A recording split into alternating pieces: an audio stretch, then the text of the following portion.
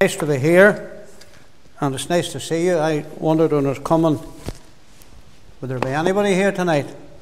But you have made it along, and uh, we appreciate your presence very much, and we just pray that the Lord would bless as we look at the scriptures tonight.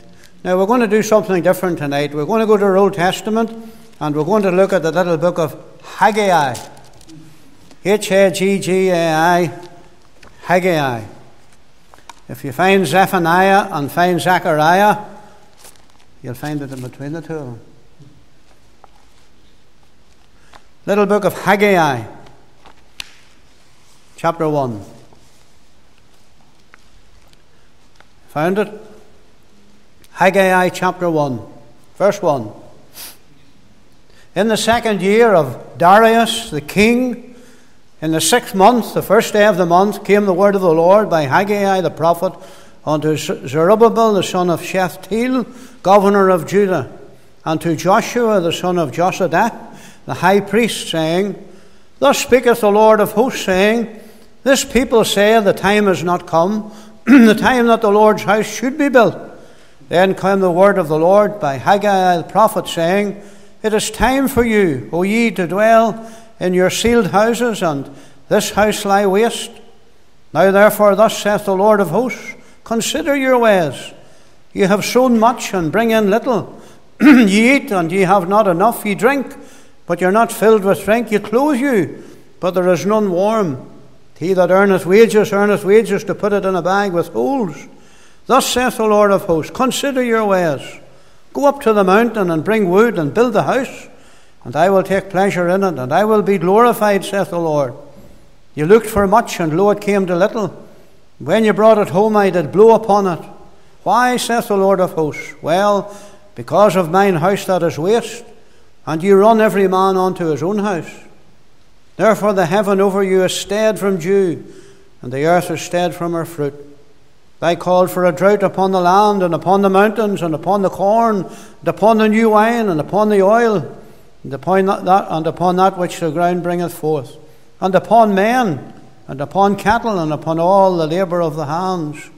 then Zerubbabel the son of Shealtiel, and Joshua the son of Josadak the high priest, and all the remnant of the people, they obeyed the voice of the Lord their God, the word of Haggai the prophet, as the Lord their God had sent him, and the people did fear before the Lord. Then spake Haggai, the Lord's messenger, in the Lord's message unto the people, saying, I am with you, saith the Lord. And the Lord stirred up the spirit of Zerubbabel, the son of Shealtiel, governor of Judah, and the spirit of Joshua, the son of Josadak, the high priest, the spirit of all the remnant of the people. And they came and did work in the house of the Lord of hosts their God, in the four and twentieth day of the sixth month, in the second year of Darius the king. Now, the Lord give us good understanding of His word, and keep your Bible open at that because we'll be looking at some of the other verses as we come into chapter 2 tonight, and we'll finish at 10 to 9. Okay, even we're not finished. We have a lot of ground to cover tonight, but we'll finish at 10 to, and then that'll not be too long. We'll have a cup of tea. there were two disciples on the road one day to, or one evening it was actually, on the road to a little village called Emmaus. They had left Jerusalem. They had been up there for the feast of Passover. They had probably stayed with their relatives up there for a couple of days. The man's name was Cleophas and the woman's name was Mary.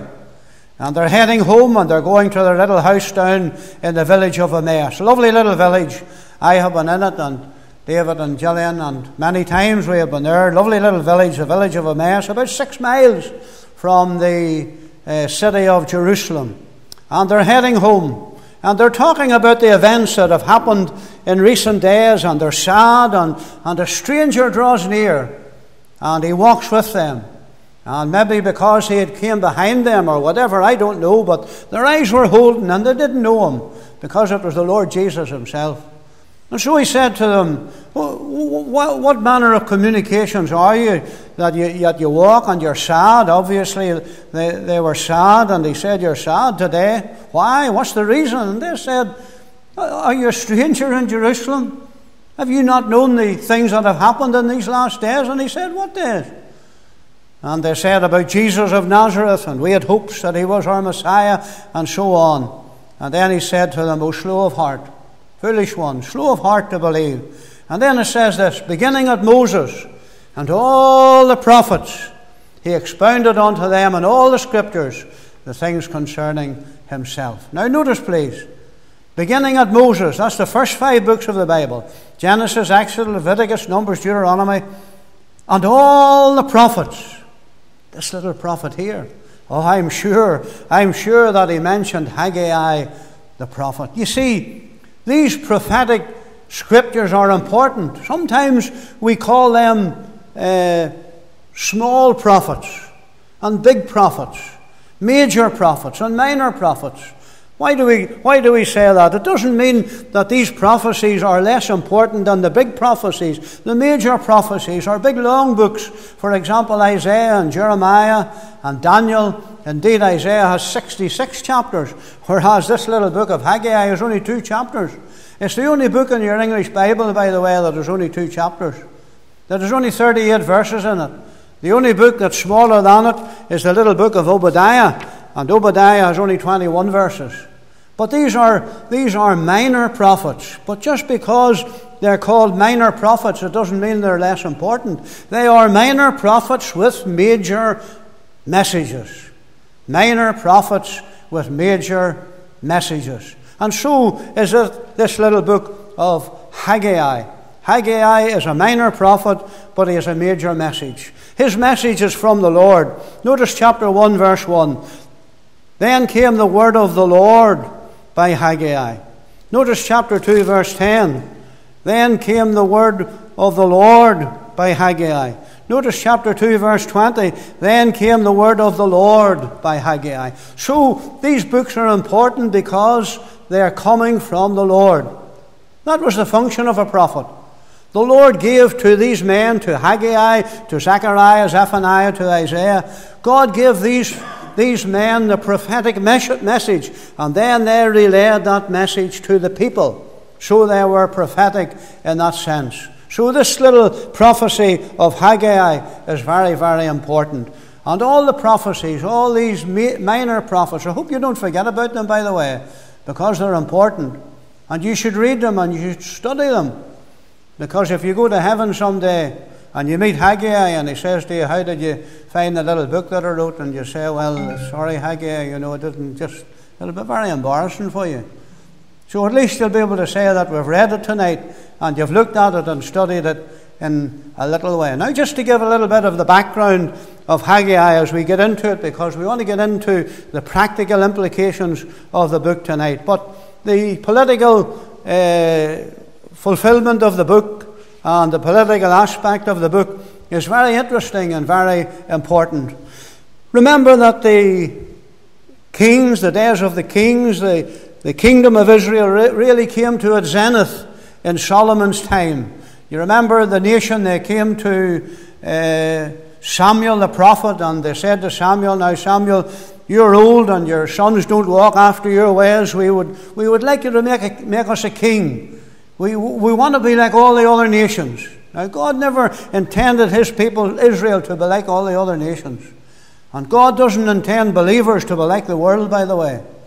We're in this world, but we're not of the world. Anyhow, Samuel was displeased. And God said, Look, Samuel, don't, don't, don't you be angry. Don't you be, be displeased because they, they haven't forsaken you, they've forsaken me.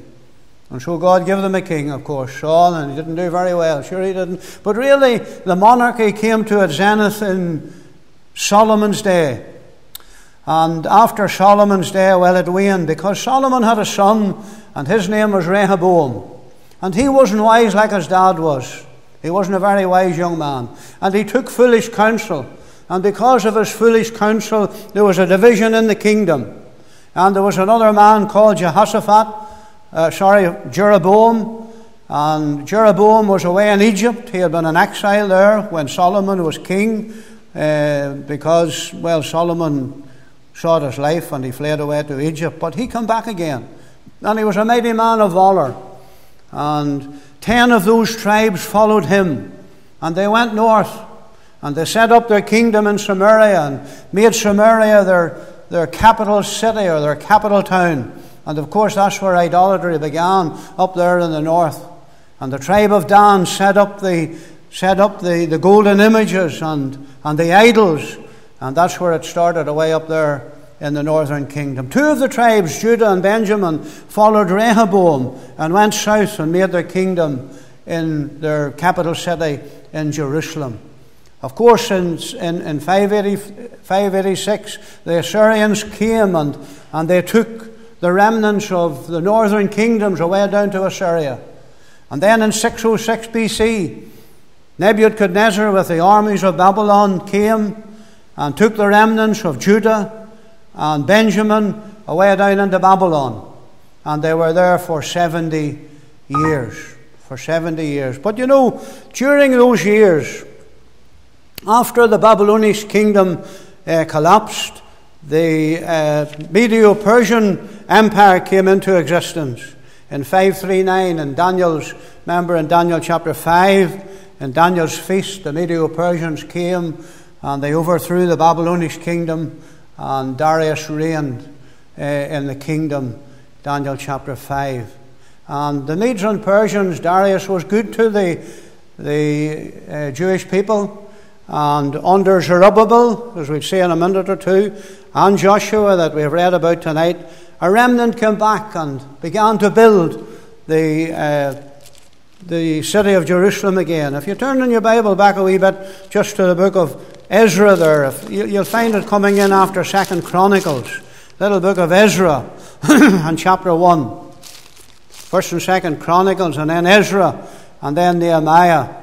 And you read there in verse 1 of the little book of Ezra in chapter 1, in the first year of Cyrus, the king of Persia, the word of the Lord by the mouth of Jeremiah might be fulfilled. The Lord stirred up the spirit of Cyrus, king of Persia, and he made a proclamation throughout all his kingdom and put it in writing. Uh, this is the word of Cyrus, king of Persia. The Lord God of heaven has given me all the kingdoms of the earth, and he has charged me to build him a house at Jerusalem. That was a remarkable thing, wasn't it? And so he said in verse 3 Who is, who is he among you? And among all his people, his God be with him. Let him go up to Jerusalem, which is in Judah, and build the house of the Lord of Israel. So he was, he was giving a decree if any of these Jewish people that were now in captivity in Babylon, if any of them wanted to go back to Jerusalem to build the house, then he would, uh, uh, uh he would set this decree, utter this decree, and give them letters to go to do that. And 50,000 of them took up the offer and went back up to the city of Jerusalem. Turn over a page there to chapter 3. They set up the altar upon its basis, chapter 3, verse 3, and, and, and they offered sacrifices to God. And then look down at verse 10. The builders laid the foundation of the temple. So this is the start of things. The builders laid the foundations of the temple and so on, and they sang together in verse 11. Uh, look at verse 3 of chapter 4. Zerubbabel and Joshua and the rest of the chief of the fathers of Israel said unto them, You have nothing to do with us to build a house unto our God. We ourselves together will build unto the Lord God of Israel, as King Cyrus, the king of Persia, had commanded us. But then you see there was opposition. When you get a work for God, you'll always get those who oppose it. And of course, the Samaritans here, you remember in chapter 4 of John, the Jews have no dealings with the Samaritans. Remember that? This is where it originated. And they were opposed to the building of the city and, uh, and all that was happening there. And you read in chapter 4 and verse 24 Then the work of the house of God ceased which is Jerusalem. It ceased unto the second year of the reign of Darius, king of Persia. And that's where the little prophecy of Haggai comes in. I'm just trying to give you a little bit of the history of it. Now, the prophecy of Haggai is important for another reason. It's significant prophecy because of the period of time that it covers. You see, if you read and go into the dates, but we haven't time to go into all the dates tonight, and go into all the dates, you'll find that this prophecy was uttered the very year that the 70 year desolation period ended. The very year. The 70 years had been fulfilled. Jeremiah in his prophecy had prophesied the 70 years of captivity, and now they're fulfilled in the very year that Haggai uttered his prophecy. So Haggai is a post exile prophet. That is, he comes in after the exile. There are many prophets who write there in pre exile period, but Haggai was a post uh, a post exile prophet. Uh, he was a post exile prophet along with uh, Zechariah and Malachi. Those were the three prophets that prophesied after the 70 year captivity. So it's, important because of that. So his, his, is, his is the first prophecy after the people have come back from 70 years exile or 70 years captivity. So the shadow of the 70 years is slipping away and a new dawn is, is, is, is, is drawing near and, and dawning and, and um, Jehovah is making this announcement. He's making this prophetic announcement and he's making it through Haggai the prophet. So that, that's sort of a little bit of the history of the, of the book. Now, please note that there are two other men that are mentioned in the book. Did you notice that? There's this man called Zerubbabel. Look at chapter 1 again, where we read in verse 12. Then Zerubbabel, the son of Shealtiel, and Joshua, the son of Josadak, the high priest, with all the remnant of the people obeyed. So these are two men that were under Haggai. Uh, Zerubbabel seemed to be the political representative of the tribe of Judah, and um, Joshua seemed to be the spiritual head of the tribe of Judah. Now, there were two good men, and there were two interesting men, because we're not told much about Joshua really. You read about him again in Zechariah chapter 8. He was a high priest, but he seems that he was a good man, and um, we'll look at him a little bit when we come to see him, not much known about him. But this man, Zerubbabel, we know quite a wee bit about him.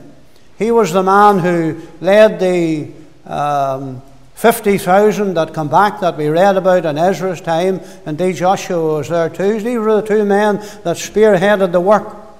It had lay latent and dormant for about 14 or 15 years now. We'll talk about that in a wee moment or two. But this man, Zerubbabel, well, he hadn't a very good start in life because he was the son of Shealtiel. Now, Shealtiel seems to have been a good man, but Shealtiel's father was a man called Jehoiakim, and Jehoiakim wasn't a good king.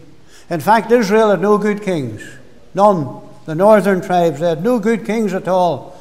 And remember, they were headed up by Ahab and Jezebel. You remember them. Now, the southern kingdom had some good kings Josiah and Joash and um, good King Hezekiah and Uzziah. Those were good kings. But this man hadn't a good start because he hadn't a good father.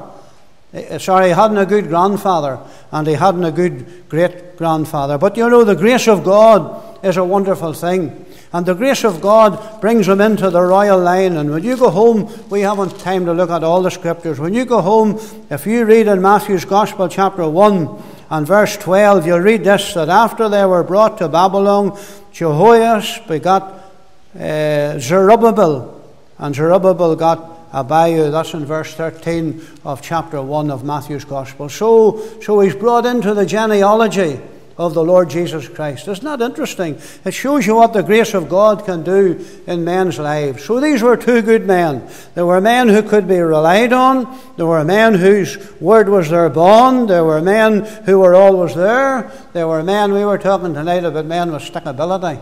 Well, these were men with stickability. These were men who were there when you needed them. You need men like that in your assemblies and in your fellowships and in your churches. Men, men who can be relied on. Men whose word is their bond. Men who are always there. And women too. You know, on the Lord's Day, he was very dependent in many ways on the ladies, on the women. And you'll read about them in Luke's Gospel, chapter 8. We haven't time to turn to it or look at it tonight. But, you know, these were men who ministered to the Lord of his substance Uh, and his disciples. Remember, there were 13 of them, 12 men, and the Lord. Good be better looking after 13 men, isn't there? Maybe some of you ladies, when you look after one man, you think, you think it's plenty. But, but you know, the, the, these were ladies whom the Lord. And, and remember, remember at the cross, there stood by the cross of Jesus Peter and James. Oh, no. No, they were away in the backgrounds. There stood by the cross of Jesus his mother, his mother's sister, Mary, wife of Cleophas, Mary Magdalene, faithful women who stood at the cross. So we need men that are faithful, and we need women that are faithful true, uh, too. Now, there are four great messages in the book. Four great messages. His prophecy, by the way, lasted somewhere about four months. Somewhere in around four months. But how important are the prophecies of Haggai? So we're going to look at them. The first message appeals to the hands of the people. Look at chapter 1, verse 2. Thus speaks the Lord of hosts, saying, This people say, The time has not come, the time to build the Lord's house. Verse 8 Go up to the mountains, bring wood, build the house. So the first message appeals to the hands of the people. It's time to build. Time to build. The second message appeals to the hearts of the people. Chapter 2, verse 3 Because into the work it began, things began to wane a wee bit. And uh, uh, the building began to just settle down a wee bit, and things began to settle down a wee bit, and they needed a wee bit of a spurt. So the second message appeals to the heart of the people. Chapter 2, verse 3 Who is left among you that saw the house in her first glory? And then verse 4 Be strong, O Zerubbabel, saith the Lord. Be strong. Saith the Lord of works, I am with you, saith the Lord of hosts. So the second message appeals to the hearts of the people. The third message appeals to the holiness of the people.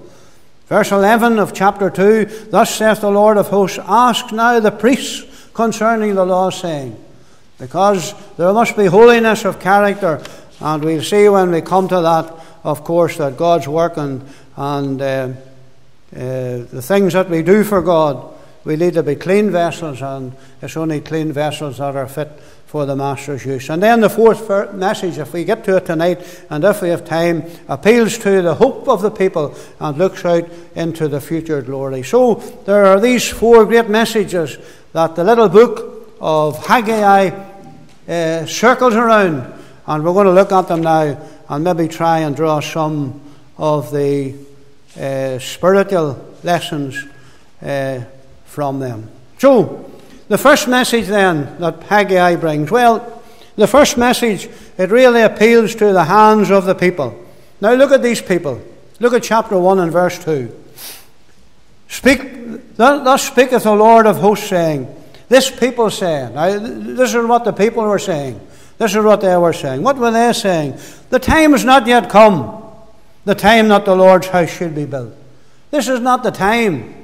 This is not, you see, there was, a, there was excuses. They were making excuses. There was an apathy among the people, a dryness, wasn't there? You know, it's about 12 years or maybe 13 years from anything was done. And the, debris was all around. If you, if you have ever seen a building site or been on a building site, and then it lies dormant or it lies vacant for about 12 or 13 years, you know, gets into a bit of a mess, into a bit of a state. And these people were looking at it and they were saying, Look at the mess. Twelve years have come and gone, you know. Just, just let it sit. We'll not bother. This is not the time to build the Lord's house. Excuses, a dryness, an apathy among the people. What's the big problem amongst the people of God today? Well, just the same. Apathy invades the church. And there's a, there's a, there's a Laodiceanness, if there's such a word, or luke, a lukewarmness, isn't there? And the people bring excuses. And there's an apathy and a dryness. The Lord's Day becomes the Lord's half day. And you get SMOs. We have them Sunday morning onlys. And they forget about the gospel meeting and the prayer meeting and the study of the Word. What's God's Word to them? Look at verse 7. Thus saith the Lord of hosts Consider your ways. God says to us tonight, I want you to take stock. Consider your ways. Look, look, at, look at the building. It's time to build. Verse 4. It's time for you, O you that dwelled in your now this is an important wee thing here. You that dwelled in your ceiled houses, your panelled houses. Now there was no such a thing in Israel as panelled houses. Panelled houses were for kings. Would it be verily possible that they were using the very timber that had been provided for the building of the temple to build their own houses? Would that be possible?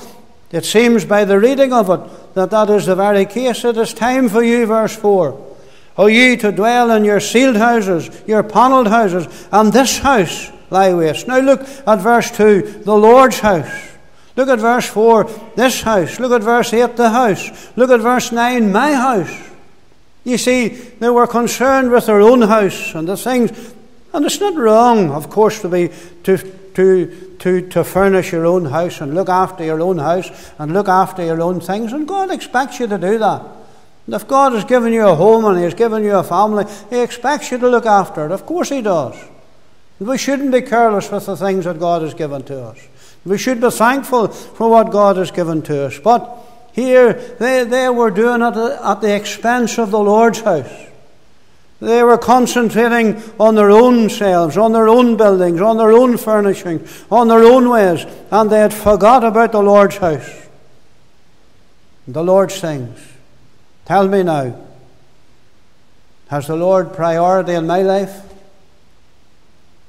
Has the Lord priority in your life? Look at verse 6. You have sown much and bring in little. You eat, but you haven't enough. You drink, but you're not filled with drink. You clothe you, but there's none of you warm. You earn wages to put into a bag with holes. What's God saying? God saying, You stop building, I stop blessing. You stop building, I stop blessing. You know, the secret of spiritual and temporal prosperity is putting God first in your life. The secret of spiritual and temporal prosperity is putting God first in your life. There's a great cardinal principle that follows through your Bible. It's found in 1 Samuel chapter 2 and verse 30. God says this God says, Those that honour me, I will honour. Those that despise me shall be lightly esteemed. You honour God in your life, and He'll honour you. Now, I wonder how you're getting on at the building. Hmm? I wonder how I'm getting on at the building. Because we're building in, and let me say this tonight, and I was thinking about this this afternoon and this morning when I was sitting reading again. You know, the time to build is getting shorter. We live in the last of the last days. Look around you tonight. Have you ever? I'm 55 years in the assembly. 55 years in the assembly. And I have never seen days like this before. These days are unprecedented. These are days when, when men's hearts are failing them for fear. And these things that are coming to pass. The Lord Jesus said, When these things begin when you see these things beginning to take place, to come to pass, look up, for your redemption draws near. And then he said, This generation shall not pass away until all these things be fulfilled. What generation? This generation. Now. And generation in your Bible is 40 years. And I reckon we're over 20 into it now. I'm not predicting the Lord's coming or saying, or saying He's going to come in 20 years. I think He'll be here long before that. I believe that I believe in the imminent return of the Lord Jesus. I believe that He could come at any moment. I'm sure of that. These things that we are seeing today are preludes to the tribulation period, to the seal judgments of Revelation chapter 6. And we are seeing them, we are seeing them coming to pass now. And this generation shall not be full, shall not pass away until all these things are fulfilled. Brethren and sisters, the time's getting short. If you're going to build for God, build now. And build it in.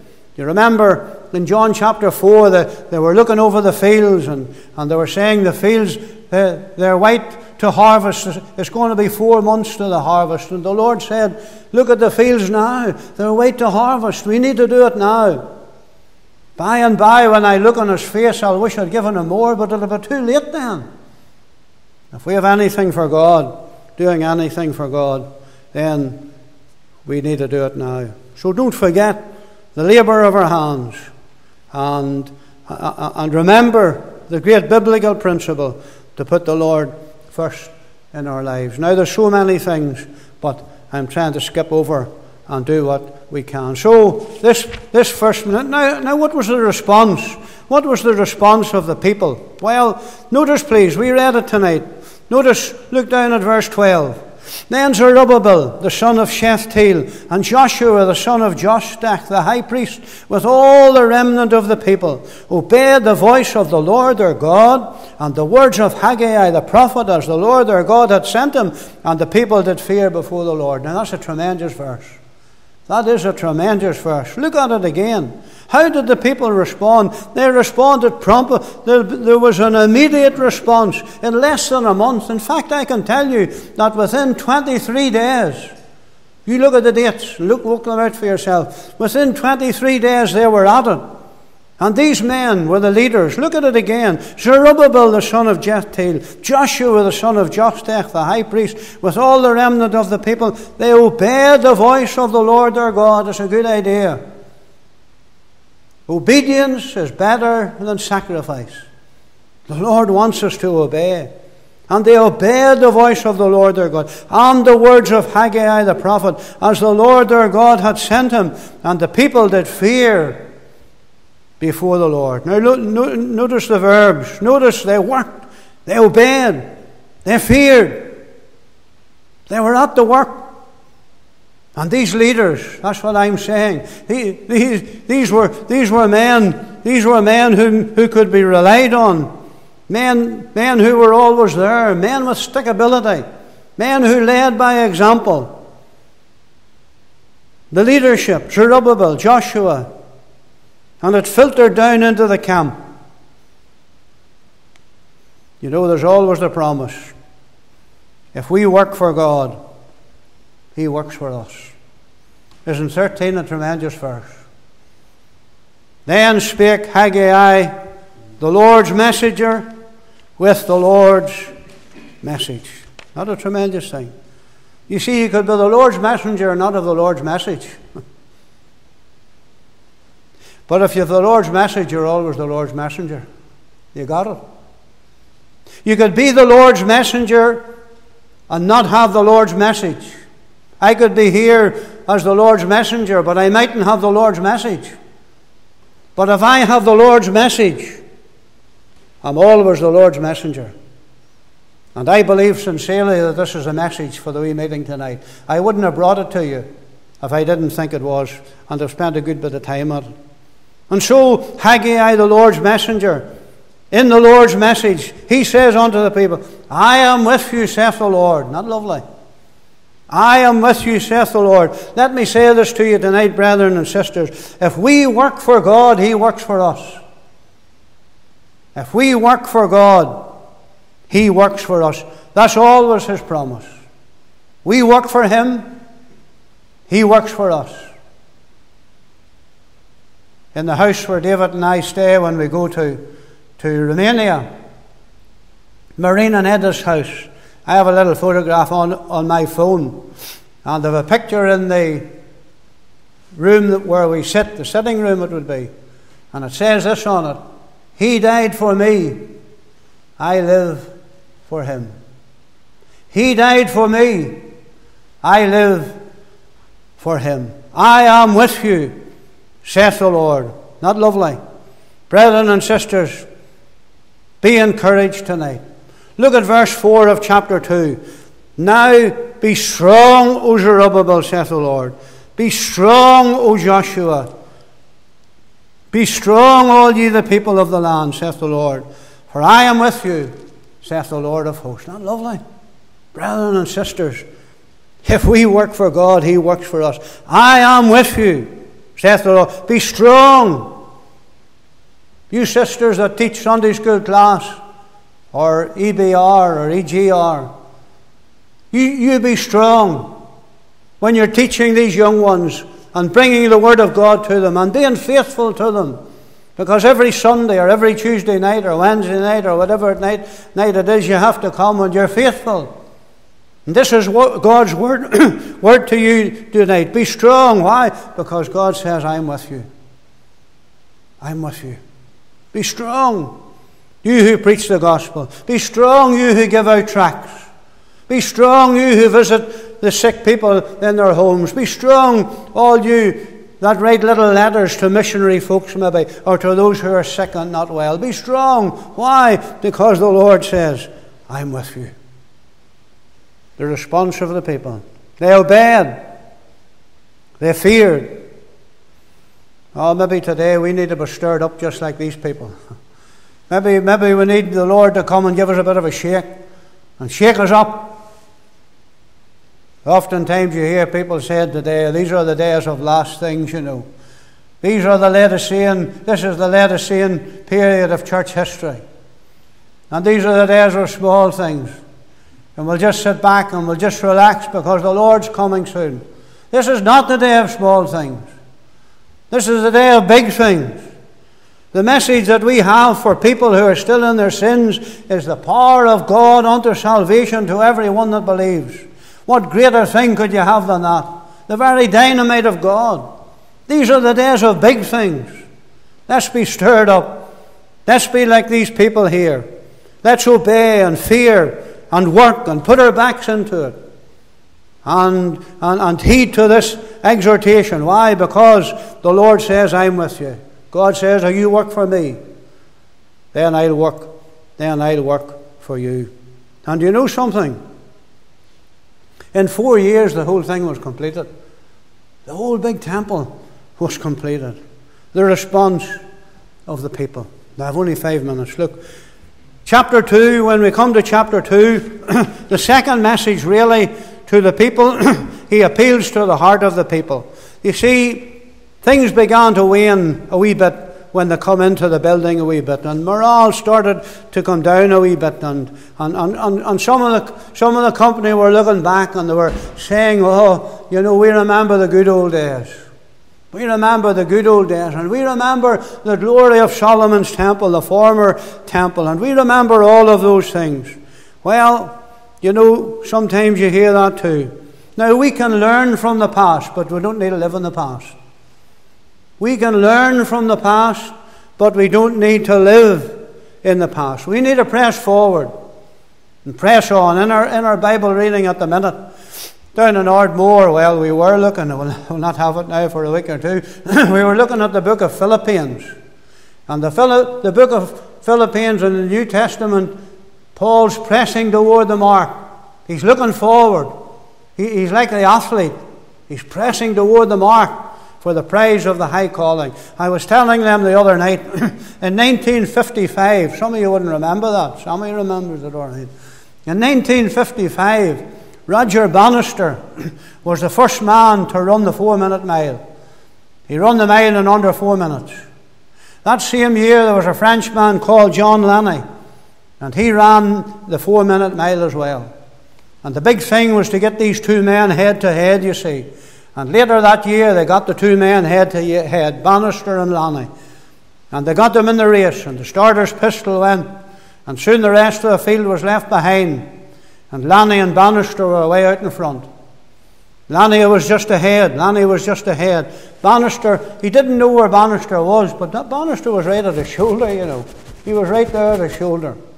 And he was afraid to look round. And they came into the, into the last straight, into the home straight. And the tape was ahead of them. And Landy could stick it no longer, and he glanced round. And the moment he glanced round, Bannister just went past him and breasted the tape.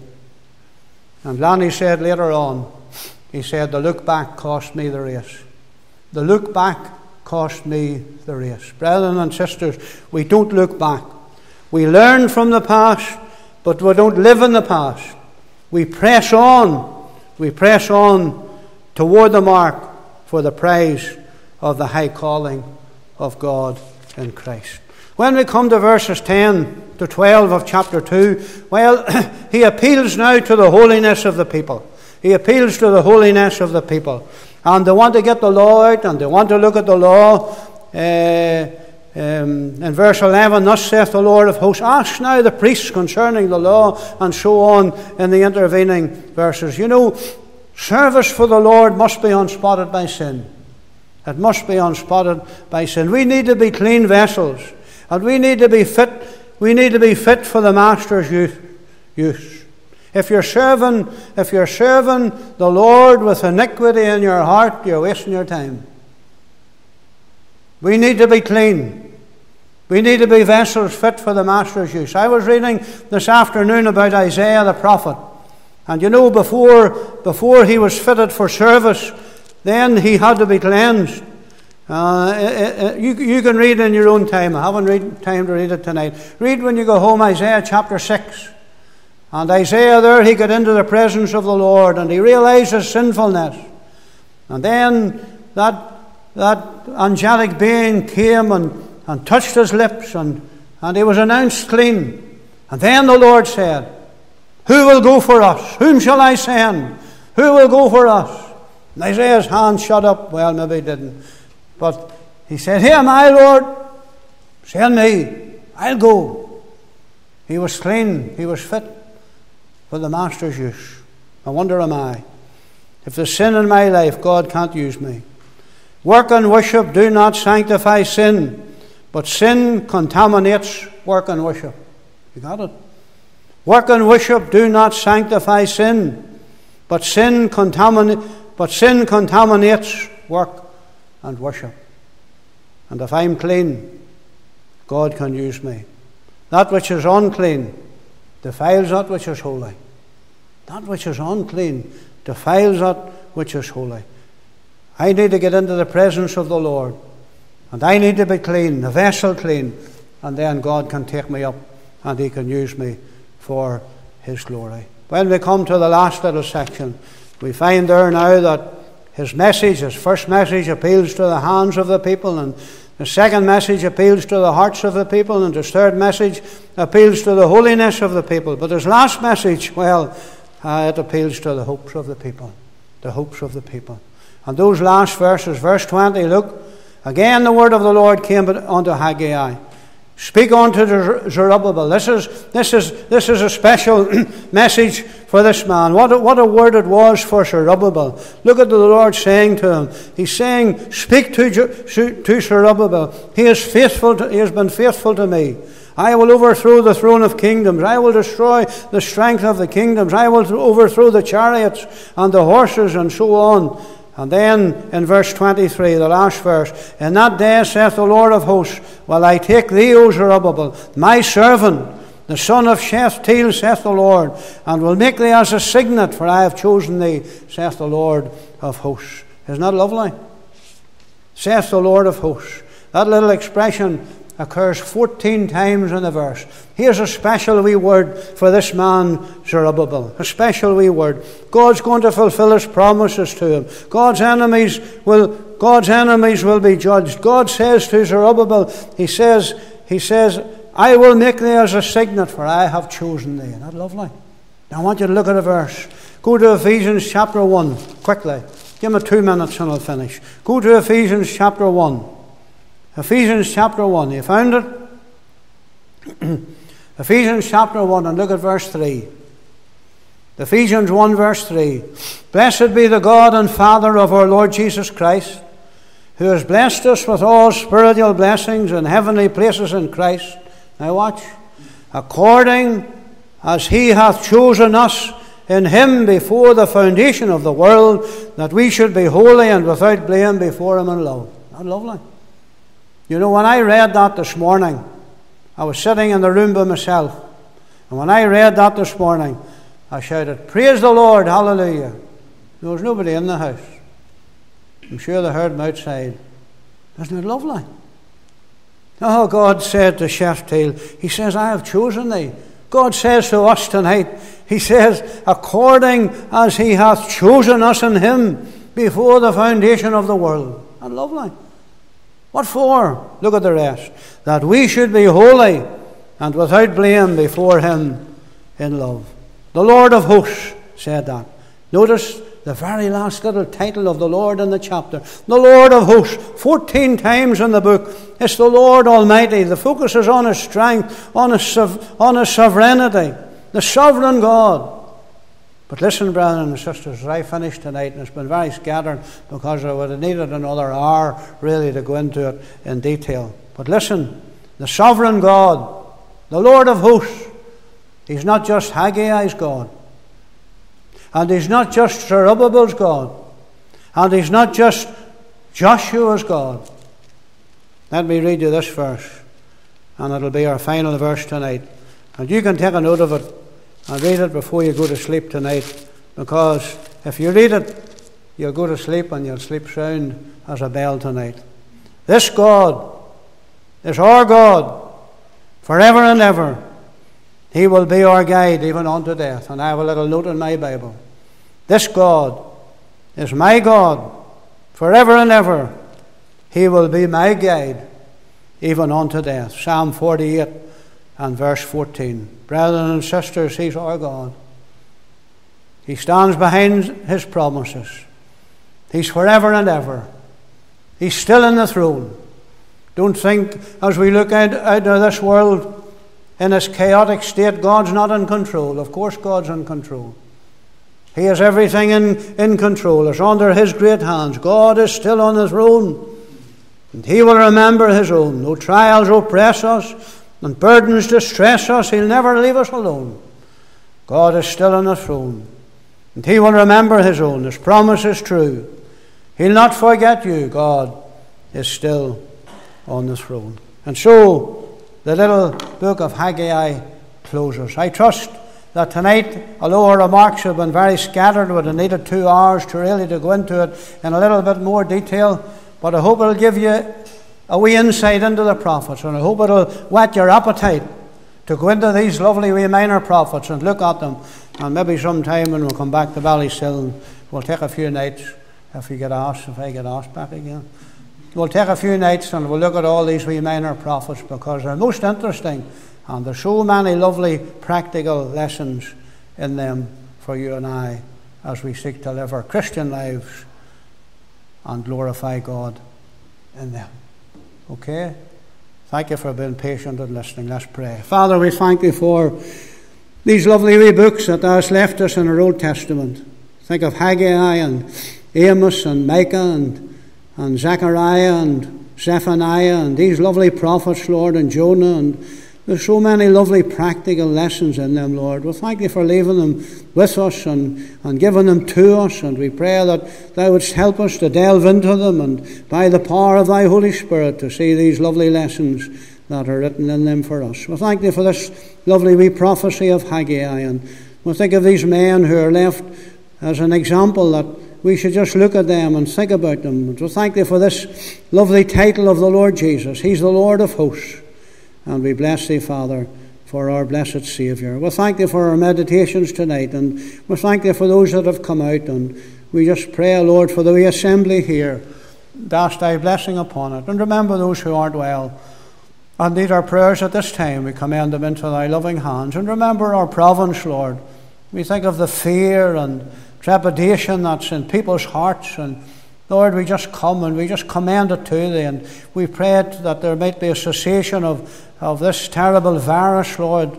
Give, give thy people divine preservation and protection from it as we commit them to thee tonight. So look upon us, Lord, as we leave and be near to us as we commend ourselves to thee and give thanks for the wee cup of tea as well and ask thy blessing on our conversation together in the Lord's precious and in his worthy name. Amen.